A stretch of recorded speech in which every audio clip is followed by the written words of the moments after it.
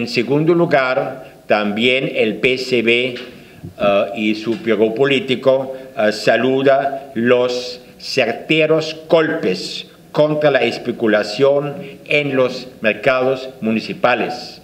Ahí caracterizamos que en sí esa guerra económica anunciado y en, en marcha y reconocido por el propio Lorenzo Mendoza, tiene cuatro fases que continuamente eh, vemos.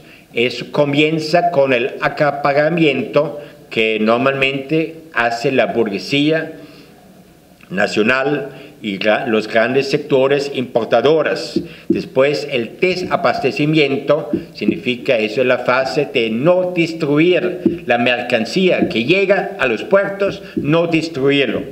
Después, naturalmente, la necesidad, ah, la supuesta falsa necesidad que todos tenemos lleva entonces a facilitar el trabajo del pachaqueo al no existir la mercancía en los mercados, en los supermercados, entonces hay la necesidad de buscarlo en otra parte y eso lleva naturalmente a la cuarta fase que es la especulación de los precios. Significa exigen cualquier precio. Entonces ahí vemos que el gobierno del presidente Nicolás Maduro hace un gran esfuerzo para enfrentarlo Uh, en, el marco de la propia, uh, el propio sabotaje, algunas veces en las uh, diferentes instituciones que um, tienen la responsabilidad del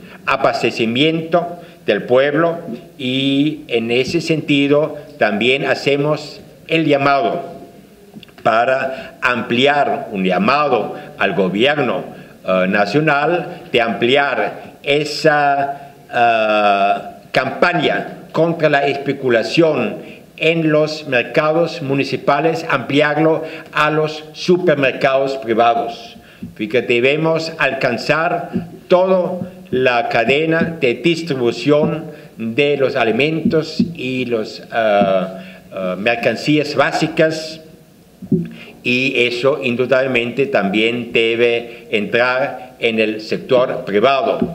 Pero además el PCB hace un llamado a la clase obrera, a los trabajadores, trabajadoras, que ser vigilante, incorporarse activamente a esa campaña contra la especulación y especialmente en forma organizada a través de los consejos socialistas de los trabajadores y trabajadoras. que existe lo que recordamos, la corresponsabilidad entre el gobierno y entre el pueblo.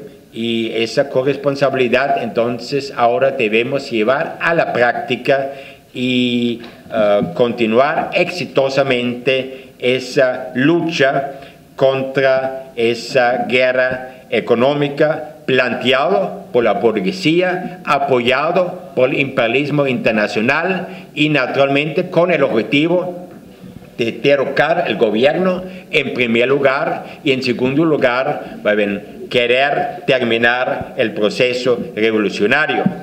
Ah, eso incluye eh, especialmente también la romper la, esa alianza entre la burguesía importadora y la burguesía comercializadora, que aprovechan ambos muchas veces los dólares preferenciales para un eh, enriquecimiento eh, que daña al presupuesto familiar.